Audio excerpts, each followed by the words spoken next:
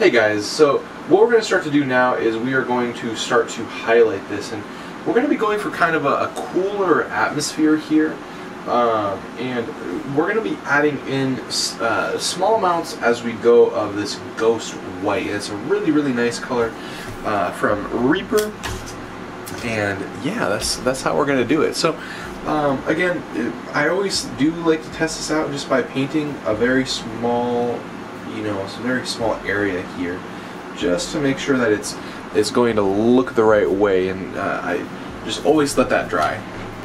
And so we're getting a really nice little stepping effect right there. I really like that. So we're going to go ahead and just thin it down just a touch, and we're going to keep on uh, going along with this. Um, again, uh, really maintaining the same type of brush stroke as we go. And uh, you can also see that we've switched back to the larger Winsor Newton size 3 here just because we're attacking uh, larger, more open surface areas again. It just gets it gets difficult as we you know get into these smaller little cracks and crevices and so on and so forth. So nothing wrong with switching up which brushes we are using.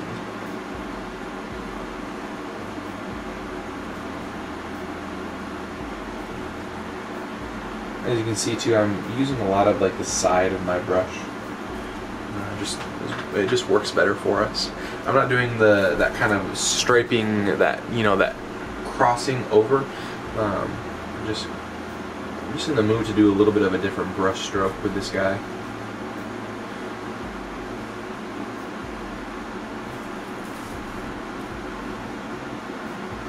Something to keep in mind too here is like we're going to do distressing and cracking and uh, we're going to be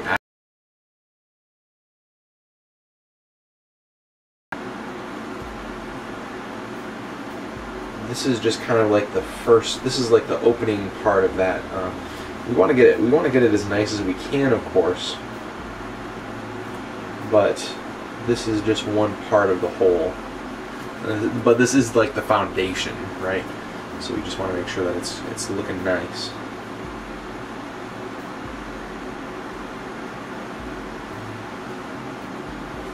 Now, if I wanted to make this feel warm, and you're more than welcome to if you are going to follow along with this tutorial, um, to make this atmosphere a little bit warmer, you can add in um, something like sunny skin tone or even yellow, like a pure yellow would be really, really nice with this.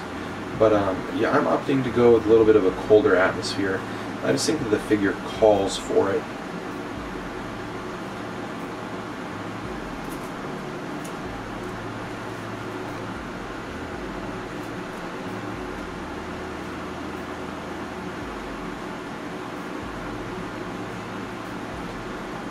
Very careful here.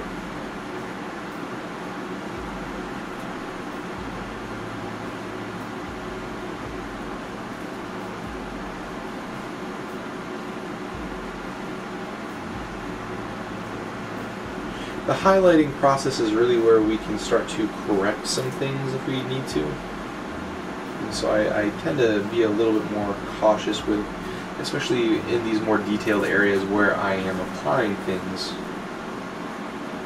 And up here I will do this across motion because it's necessary.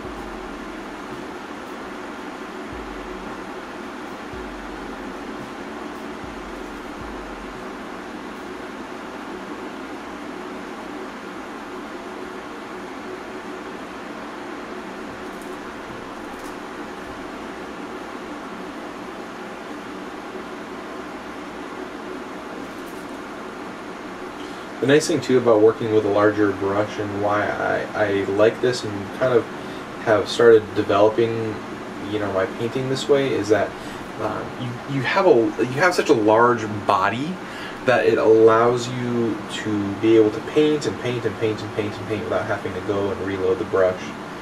Um, it's just it's just nice not to have to come back to the palette every five seconds.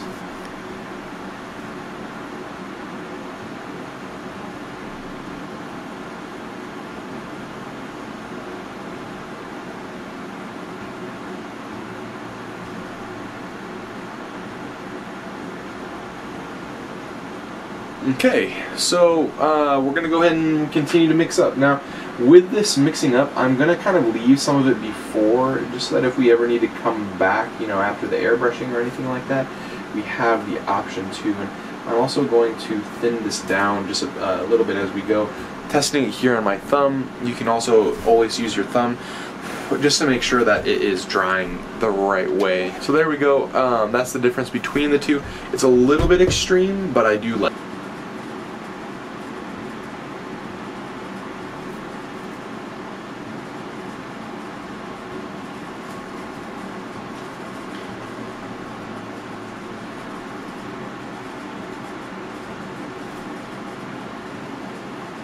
Something else that um, has kind of come to mind that we can do here is we can always modulate this. And what I mean by saying that, and it's kind of a, a little bit more of like a historical, like tank um, type of a word, but uh, is that we can we can take like the complement of this color uh, and we can spray it on top of it, and it can desaturate it and denature it even a little bit more than we already have it and that, that's really great because it, it, gives us a little bit more of a variety of colors and um, it, again it'll help us blend things out just a touch more than they already are.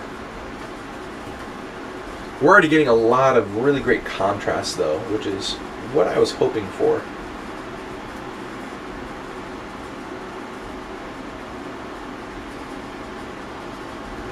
some of these parts I just need to be able to hop into with a, a smaller size brush, which we're going to be switching to after this round of highlighting.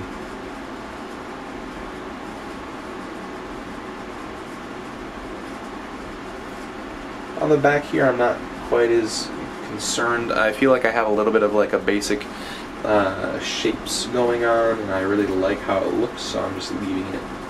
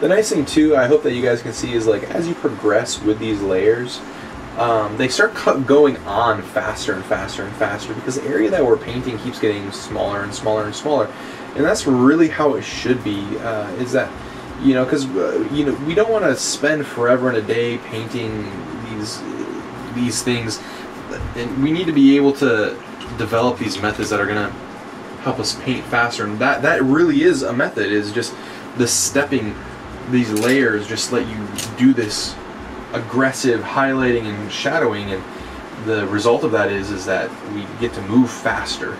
So um, mixing this up and this is kind of almost getting like minty minty green.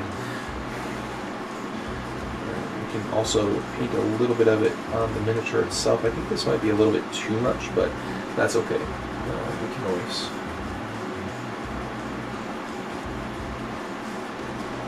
we have a bit of our mix from before test it again. Always, always testing every time.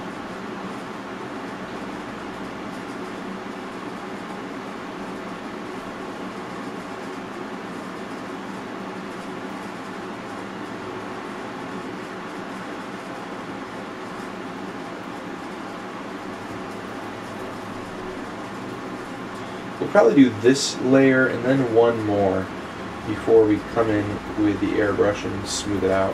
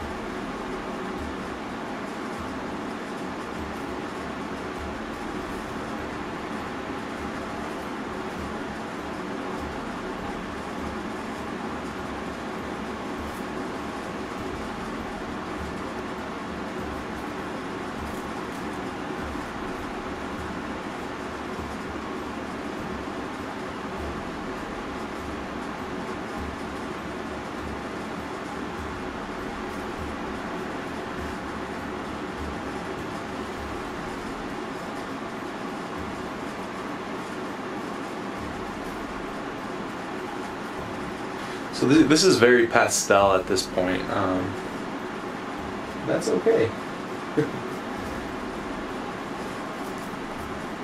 One of the things that I, I keep getting questions about, just uh, on the topic of getting pastel, is people will get to this point with painting pastel, they'll go like, "Oh man, it's my paint's getting really chalky." That's the voice that I giving the people whose paint's really chalky. But um, anyway, yeah, they'll, they'll say, "Oh man, my paint's getting really chalky. I don't know why."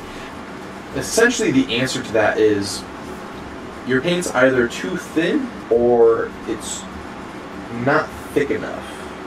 So there's like a happy medium. Some of these colors that are a little bit more pastel or a little bit more white, um, for instance, uh, when you're working with them, you can, if they're too thin or if they're not thin enough, they get that grainy, chalky appearance. If they're not thick enough, the same thing can happen. And it's something that you do have to be kind of aware of uh, depending on the brand of the paint because some like Reaper Reaper is kind of that's usually how it works is like it's it's just not where it needs to be in terms of consistency and it's such a such a big uh, it's such an important lesson that you have to learn. Uh, unfortunately you know you can only show it so much but uh, a lot of it comes to you have to be brave with the way that you're applying colors. Uh, and part of that is knowledge, right? Uh, part of it is learning how shapes and how uh, you know these these different forms come together and commingle and um, all kinds of stuff. So if your if your paint is getting chalky, don't worry too much. Just keep practicing and practicing, and you will definitely get the hang of it.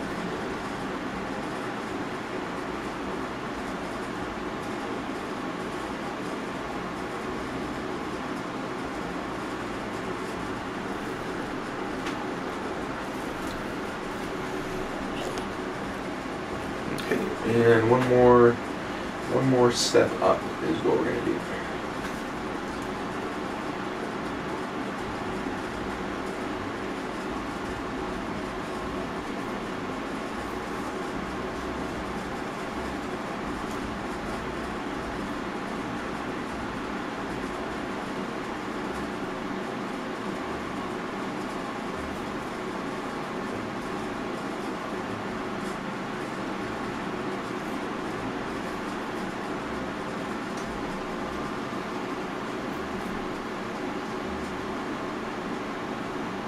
You're notice you're probably noticing that I'm using like the tip of my brush right now. Um, that's okay. It, once you start getting your highlights this small, and you're trying to keep like consistent brush stroke along the side, um, it, it's almost necessary. Just because the area has, get, has gotten so so small. Like down here at the base where there's still room to play, yeah, sure. You know, do what you need to. Um, switch back to the side of your brush like you've been doing, but um, for these teeny tiny little areas, you kind of have to kind of have to use the tip.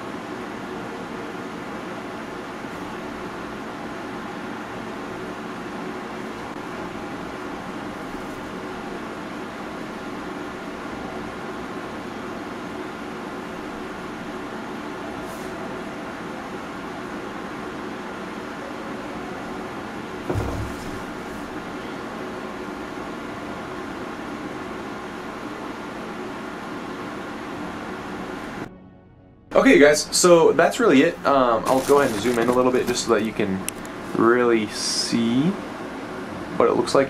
It's it's not perfect, right? We don't want it to be perfect. Um, we want contrast, we want depth, and we want a range of colors, and that's what we have and what we've created with these these very few colors um, already from the get-go. So I'm very excited about it. Uh, we're gonna go ahead and stop it now. The next segment is gonna be on uh, airbrushing and getting getting the airbrush the tint in uh, in a couple of a variety of ways. So I'll see you guys in just a moment with that. Bye.